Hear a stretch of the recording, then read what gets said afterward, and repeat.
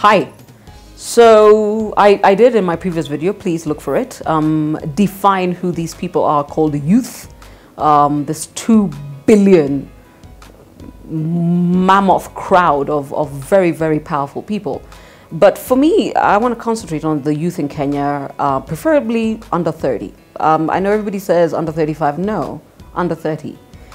Um, can we just start with how much nonsense you actually are fed and then you believe it? There's this nonsense from people who are in their 50s, 60s, and 70s who go around saying, I am a champion for the youth. First and foremost, can you stop believing that talk? Somebody's allowed to get in the space and empower you to do what you need to do to live your dream your way. But nobody's allowed to go around saying, I am and I speak for the youth. I would rather put you in a room and help you put together your speaking structure so you can do the speech of your life. But me, sit there and say, and I shall make the speech on your behalf. It's just nonsense. And, and you give your power away every day. Young people in this country wake up and they just give their power away. Um, and, and they'll give it to anybody. You'll give it to a CEO who think who looks cool. You'll give it to a politician who seems to be living the life of a rock star. You'll give it um, to a thug who's got the car you want. You wake up every day, and what you do is that you've got power, and what somebody says, no, you can't be trusted with it. It's like a power keg, so give it to me, I'll handle it for you.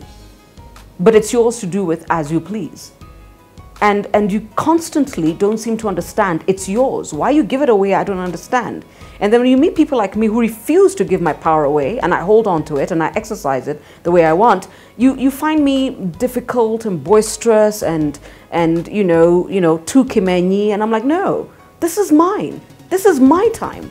I exercise this. You don't get to do it for me.